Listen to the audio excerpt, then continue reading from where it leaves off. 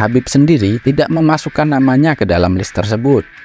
Namun, dirinya bersama dengan John Jones dan juga GSP selalu ada dalam perdebatan siapa fighter MMA terbaik sepanjang masa.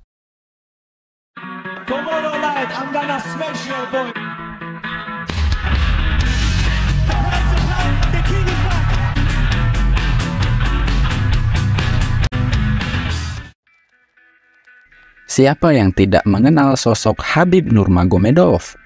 Petarung MMA asal Dagestan Rusia ini mulai dikenal namanya saat dirinya bertarung di promotor UFC. Bagi yang tidak mengikuti MMA, pasti mengenal sosok Habib saat perseteruannya dengan Conor McGregor pada 2018 yang lalu. Di mana saat itu Conor yang sedang di masa prime-nya dihadapkan dengan Habib. Duel ini jadi semakin panas ketika Conor McGregor melakukan cywar dengan membawa-bawa isu ras dan agama. Hal itu sudah sangat kelewatan dan melampaui batas. Namun pada akhirnya, Habiblah yang membantai Conor di dalam oktagon. Bahkan, saking emosinya, Habib sempat keluar melompati pagar oktagon dan menyerang rekan Conor yang tidak kalah toksiknya yaitu Dylan Dennis. Kericuhan tersebut sampai membuat petugas kepolisian harus turun tangan. Singkat cerita, seusai Habib menghabisi Conor, mulailah dunia mengenal seorang Habib Nurmagomedov. Sampai di akhir karirnya, dia tidak pernah merasakan kekalahan dengan rekor 29 kali menang tanpa pernah kalah ataupun imbang. Namun, dalam video ini, saya tidak ingin membahas tentang kehebatan seorang Habib Nurmagomedov. Namun, saya akan membahas tentang 10 besar petarung MMA terbaik di mata seorang Habib Nurmagomedov.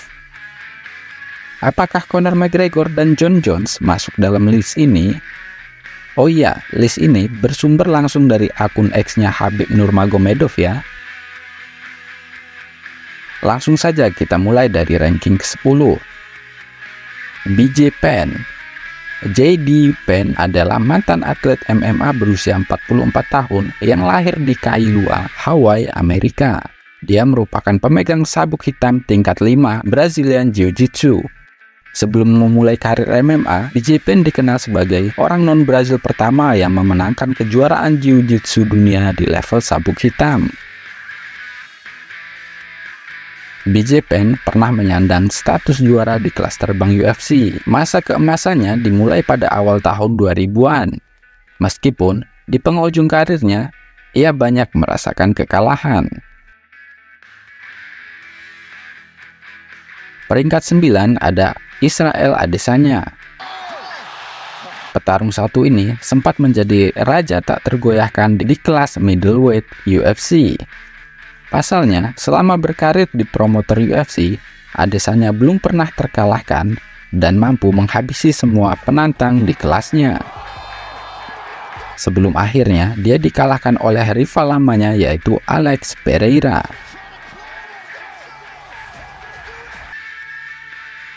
Walau pada 10 September yang lalu, secara mengejutkan Adesanya tumbang lagi, kali ini dari Saint Strickland.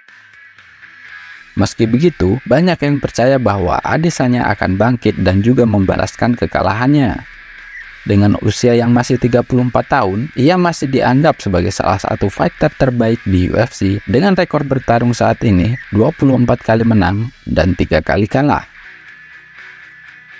Peringkat ke-8 ada Kamaru Usman. Fighter bernama asli Kamarudin Usman adalah petarung kelahiran Nigeria yang bertanding di UFC di mana ia merupakan mantan raja UFC di kelas welterweight. Mirip-mirip seperti Adesanya, Usman sempat menjadi raja kelas welter untuk waktu yang cukup lama. Namun pada akhirnya, pada Agustus 2022 yang lalu, sabuk juaranya direbut oleh Leon Edward. Serta dia kalah lagi dalam rematch mereka. Dan mengakhiri dominasi dari seorang Kamaru Usman. Fighter yang berusia 30 tahun ini memiliki rekor 20 kali menang dan hanya tiga kali kalah. Peringkat 7 ada Jose Aldo.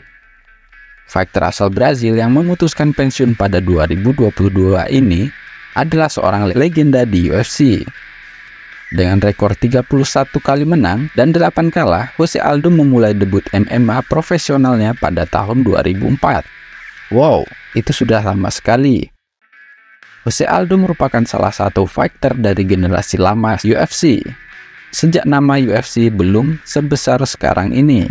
Jose Aldo merupakan mantan raja di kelas bulu. Jose Aldo kehilangan gelar kelas bulu dari Conor McGregor pada tahun 2015. Namun ia berhasil mendapatkan kembali dengan mengalahkan Frankie Edgar untuk sabuk interim. Dan dia berhasil menjadi juara tak terbantahkan sebelum akhirnya kalah dari Max Holloway tahun 2017. Peringkat 6 ada Henry Cejudo Henry Cejudo merupakan mantan pemegang dua sabuk sekaligus atau double champ di UFC. Fighter asal Amerika berusia 36 tahun ini sempat mengejutkan dunia ketika tiba-tiba pensiun dan melepaskan dua sabuk miliknya pada 2020 yang lalu. Sebelum masuk ke dunia MMA, ternyata Cejudo merupakan atlet profesional. Ia merupakan atlet gulat yang bertarung di Olimpiade dan tak tanggung-tanggung, Henry Cejudo mampu memenangkan medali emas pada Olimpiade Beijing 2008. Dirinya pun menjadi pegulat termuda sepanjang sejarah Amerika yang mampu meraih medali emas Olimpiade.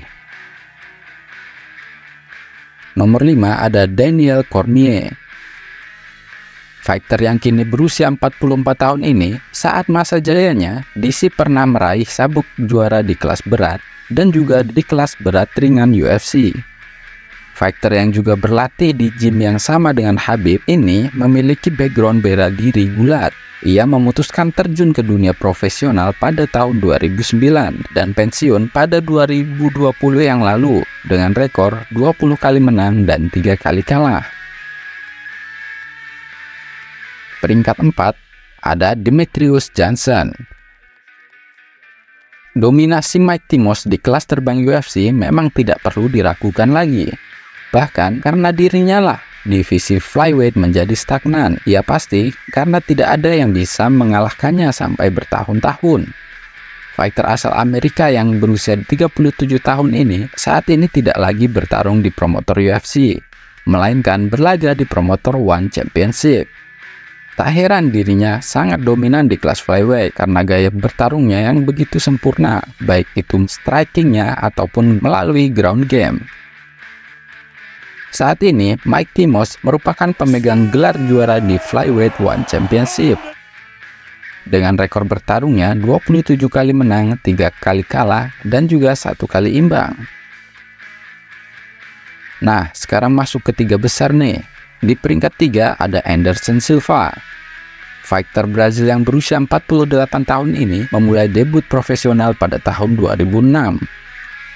Anderson Silva memiliki rekor bertarung 34 kali menang dan 11 kali kalah. Sebelum era baru UFC saat ini, Anderson Silva adalah raja dominan di kelas menengah UFC, tepat sebelum masuk eranya Israel Adesanya.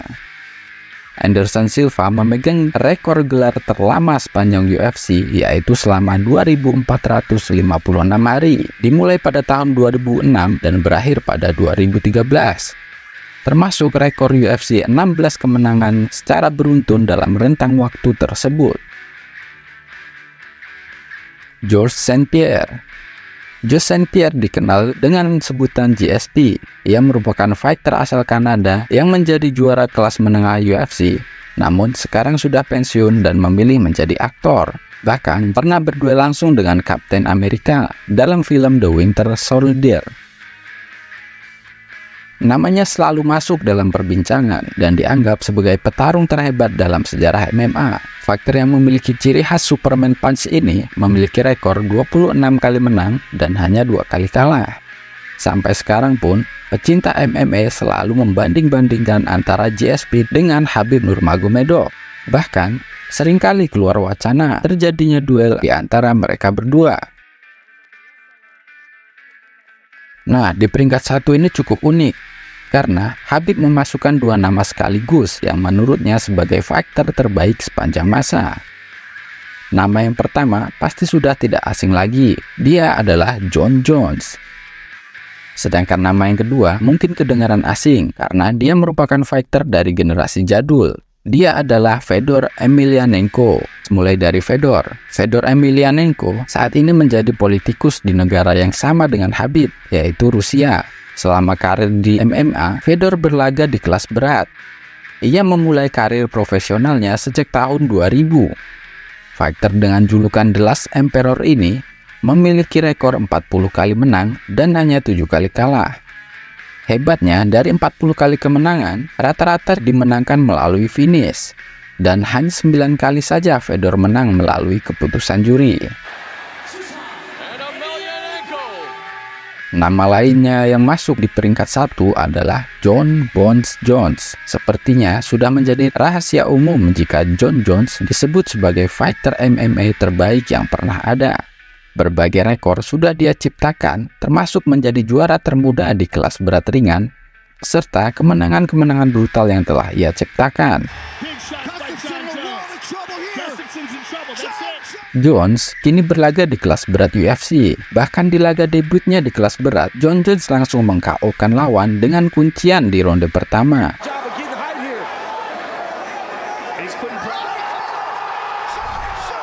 Serta membawa pulang sabuk juara kelas berat UFC.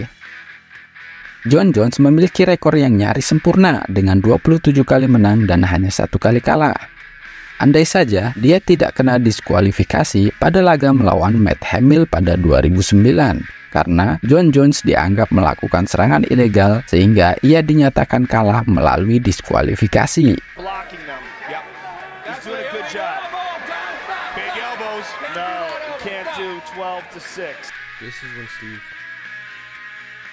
Dalam ciutannya, sebenarnya Habib memasukkan 15 nama fighter MMA terbaik menurut versi dirinya. Dan berikut adalah list lengkapnya.